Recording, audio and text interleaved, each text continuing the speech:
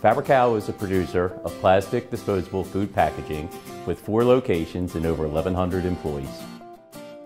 Education has always been very important to Fabri-Kal, which offers unique opportunities to its employees and their dependents. By engaging with the United Way, our company is able to further its reach to enhance the educational environment within our region. Furthering education, particularly the focus on the birth to 21 continuum, enables our region to develop future employees that will both have a prosperous and productive career with companies like ourselves. We believe and are engaged in education for our region.